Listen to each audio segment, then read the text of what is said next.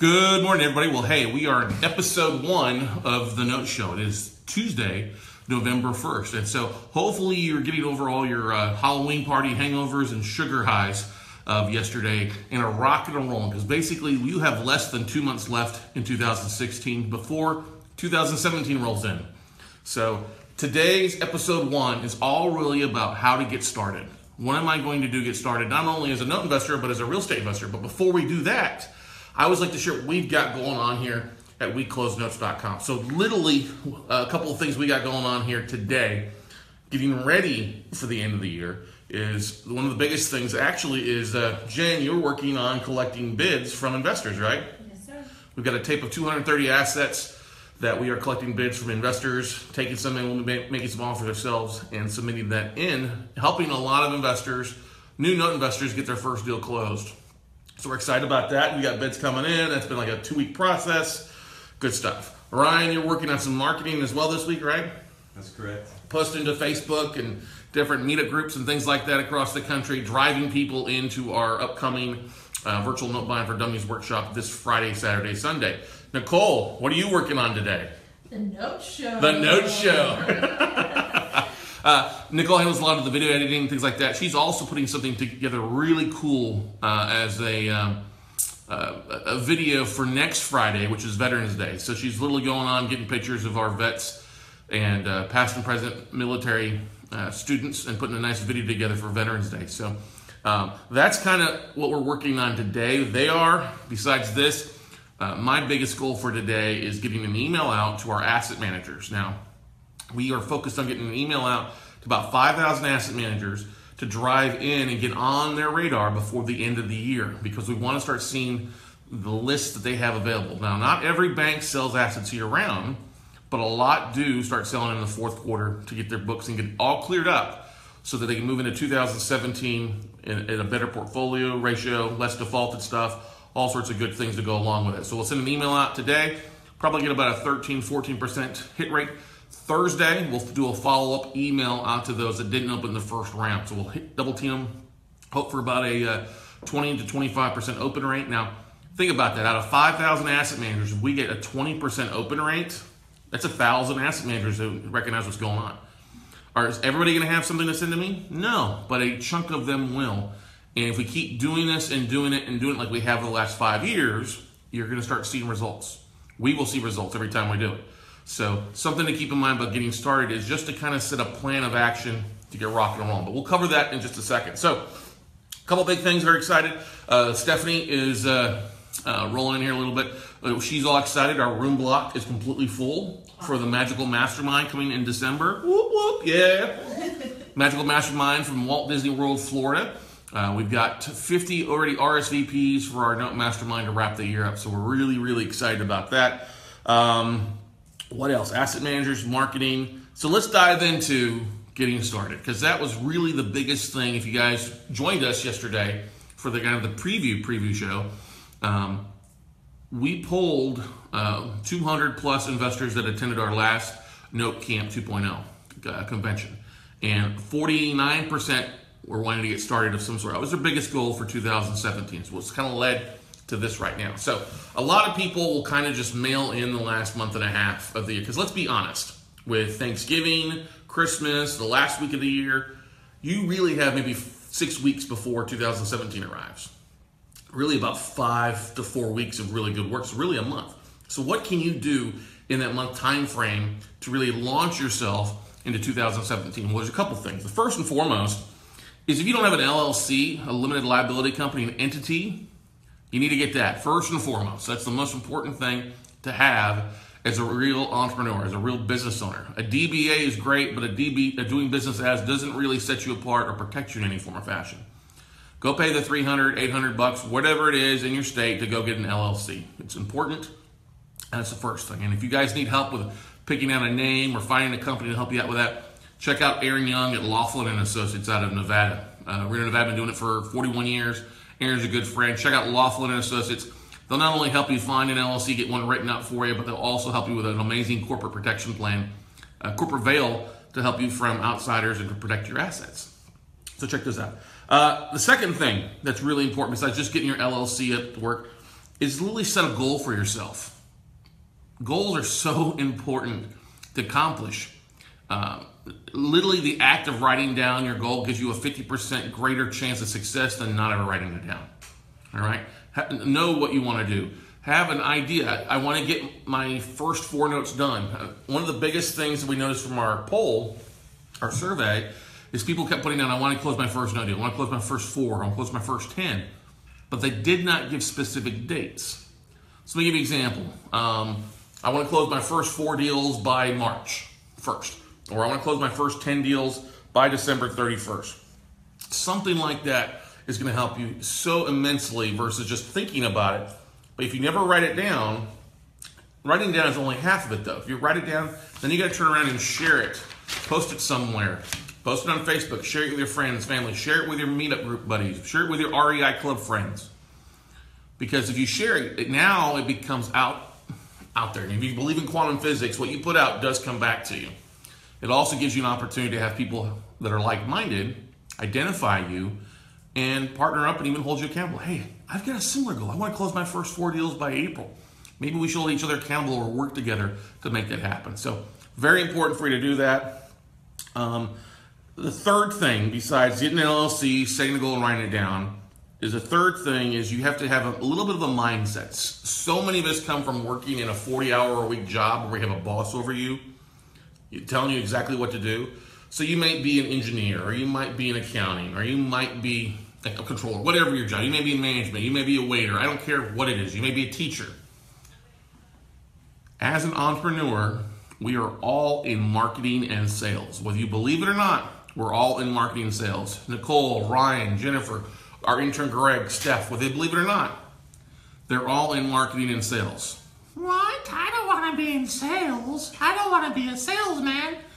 Tough, you are. We're all selling ourselves on a daily basis.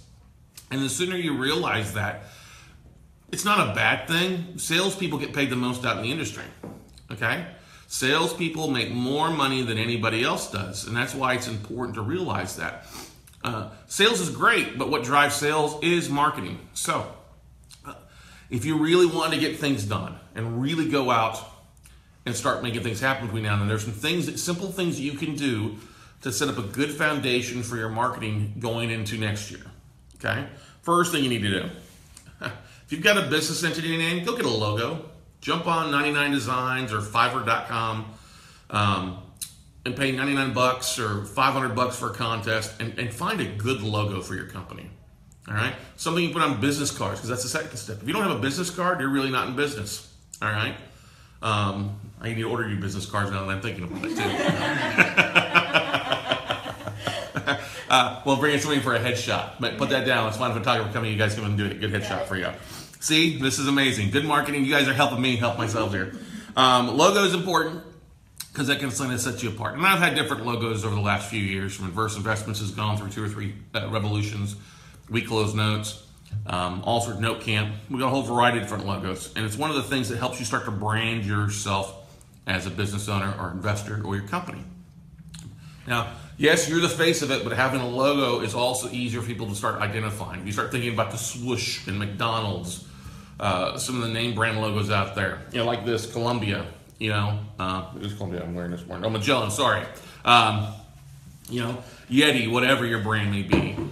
Putting it out there so everybody can start seeing you and identifying kind of you, who you are. Um, our logo colors are always two shades of green, not 50 shades of gray. Uh, all right. So we like green. We talk about money, prosperity, things like that. So keep that in mind. Don't do anything that's crazy, not too much, but something that will help identify what you're really looking for. If you're in real estate, obviously something with a house on it, or something with a key, or something with, um, uh, like we're at Mortgage something that looks like a note. So those are the things to keep in mind for you. And, and keep something that, under, that people understand, identify it with what you have. Okay? That's an important thing when it comes to your logo and your name. Now, if you're looking for a name, before you pick an LLC, you might want to jump on namechk.com and see what's available. But now NameChk is spelled N-A-M-E-C-H-K.com. There's no E in the check. So namechk.com. What that will do is allow for you to type in names of your company and see what websites, what social profiles, Facebook, Twitter, what's available for you out there. Because the last thing you want to do is have a great company name and have none of the social profiles available. It's really a shot in the foot right there to begin with. So take it's free, namechk.com, free website to check out and identify a good name for you. Now, logos and biz cards are great, but having a social media presence is also important. The easiest social media presence that everybody can have, it's also free, is a LinkedIn profile. Now, there's two main facets of a LinkedIn profile that you have to have. You got to have a smiling photo on there.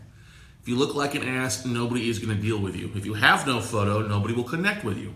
Now, I'm sure many of you guys that are working a regular job are, are concerned, like, oh, well, do I need to have a separate profile, one for my regular job and one for my real estate stuff? No. Um, one of the things I always tell people that are working full time is listen, you, we all have hobbies. We all have outside things that we enjoy. We have retirement. So if your company is paying a 401k but not going to hit do well so well, put it on their subgroup. Hey, I'm also a real estate investor. Okay. I'm also have I'm the LLC of brownhouses.com. Okay. That's one of my hobbies I do in, in my spare time. It's okay. Don't have two LinkedIn profiles. It's counterproductive. Have just one. And the biggest thing about a LinkedIn profile besides a photo is fill it out your profile completely. I mean, literally, it's like a resume. Go back, share the last three or four jobs you've been, your interests, your hobbies. If you fixed a few properties or fixed and flips, put on some projects down there. It's really a great, uh, if anything, a resume builder for you guys because that's really what it is when you're dealing with asset managers. Asset managers on the note side are going to go to LinkedIn and try to track you down. Who is this cat? Who is this girl that's calling me wanting to buy distressed assets? Let me check about what they have going on. And if you're on LinkedIn, great. If you're not, it's kind of a red flag. If you have a small profile, nobody really takes you seriously. Now, LinkedIn is important. That's part of it. What you want to do is also go out and, and connect. Add the use the add connections features to go out and find people that are connected to you. It's okay to jump into your email or let LinkedIn jump into your Gmail account or Yahoo account to identify who you email and if those emails are associated with any profiles on there, that way they can match you up and really uh, expand your network. Because, hey, if you can network with a thousand people, two thousand people, five hundred people on LinkedIn, it's a great start to put those connections together now, so that come first of the year, when you start marketing out with emails or other posts out to it, you've got a following to see what's going on. Let me give you a couple examples of some people that are really rocking and socking right now. Karen Peterson with Katie Investors Karen has been a student of ours for I think going on four to five years now, and just just doing an amazing job with her marketing. She's got an email that goes out. Her and Karen, uh, her, uh, Lori Davidson, uh, Kimberly, uh, Banks Fawcett. She's gonna kill me for that, but that's okay. How could I forget Kimberly? Uh, we, we just call her KBF. Anyway, KBF, Lori, and Karen are about to go on this road show. They're going to tour Indiana parts of Chicago, look at some of the assets they bought, the assets they're looking to buy. And so they're doing some great stuff. Karen especially is doing marketing out. Hey, we're doing a roadshow, the Women in Notes theme to it. But she sends an email out regular to her database. She's already marketing, letting her database know about the mastermind in December, getting her joint venture partners ready to rock and roll, talking about going to Disney because she's a bit of a Disney freak. All right? I'm sorry. Freak is a strong word. Disney enthusiast, we should say. Okay, just like Stephanie is. But anyway, uh, she's doing an amazing job marketing, going out and really sharing what's going on. It's led to her being asked to come speak at some of the local real estate investment clubs. It's basically leading her becoming an expert in her market, expert in her tribe as an investor. And it's doing amazing things for her business. People are uh, wanting to uh, invest money with her, people are wanting to speak, people are looking to her for potential deal sources. So it's an amazing job. I also got to give a shout out to Stacy Walls. Stacy Walls, a relatively a new student, him and his wife Karen came to Austin a few weeks back. They're out of uh, um, Maryland. Um, he's just retired the other day from I think 30 years of working for Bed Bath and Beyond. So Bed Bed Bath and Beyond investing we like to joke it. But they're doing little short videos, talking about exit strategies, sharing what they got going on, and they're already starting to see people respond to their marketing. So they're doing little things just to set themselves apart. That's what you have to have in mind when you start looking at a business. They have a plan of action, they have a game plan to make things happen, and it's amazing to see the amount of results they get. Because if you don't have a game plan, you never share what's going on, the only thing you are going to guarantee is you're not going to have any success. You're going to guarantee failure by not acting. If you take steps, even a little bit more than what everybody else does, it's going to set you so far apart from the rest of everybody out there. So, we have any comments, questions? Nicole, pop it up. Not yet. Cool. That's all right. It's good. Good thing. So, so let's cover that again. Go get you an LLC. Lawfulness says it's easy to do. Yes, you can use LegalZoom, but they're really not going to help you with the books or anything like that. Uh, second thing, set a goal and, and, and make your goals reachable and a date. Uh, I had a uh, 10th grade geometry teacher, Mrs. Crawford. Could not stand her. We did one of the, one of the few classes that I struggled with. It wasn't because I didn't get it. It's just I butted heads with this lady.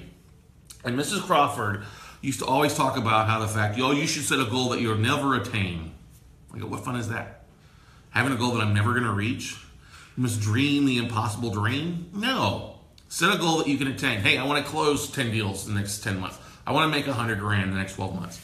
I want to get my pilot's license. I want to be get a real estate license. Whatever it is, set it, write it down, and set a goal for yourself. And then post it where you can see it every day on the TV, on the bathroom, in front of the commode, on your mirrors, on your fridge, whatever it is. Post it everywhere so you know exactly what you want to accomplish, and then your friends and family start to ask you about that as well. One thing going back to marketing and sales, we're all in that, everybody. Make sure you run with it, you realize that, you embrace it. If you don't embrace it, you're not going to be in business long. You're going to flip flop around and try and tackle 20 million shiny objects or 20 million squirrels. Be focused. I think that's what I want to leave you with before we wrap it up here for episode one. Is just be focused. Pick one thing. Uh, I went to an event in Houston this last week with my buddies Jason Bible and Tom Perry from the Right Path Real Estate Radio Show in Houston, Texas, and they're putting on one of their, I think their second educational event. And there's about 30 investors in the room, and uh, I should say 30 wannabe investors, because I asked one question when I spoke there for like 20 minutes. Hey, who's focused on this and this and this? And like people raised their hands, and I'm like, listen, you're not going to ever have any success unless you just focus on one thing. If you're out trying to be the best fix and flipper and the best best wholesaler and the best rehabber and the best private investor, you're never going to be able to have the type of success you want to have without being focused on one thing. So focus on one thing. I don't care if it's notes or if you're a short sale king like Matt Marinoff or you're a turnkey provider who's awesome like Dan Zatowski. Um, just focus on one thing. Quit trying to be an educated idiot. Because so many people out there trying to learn everything. I know when you're brand new, you want to learn everything if you possibly can.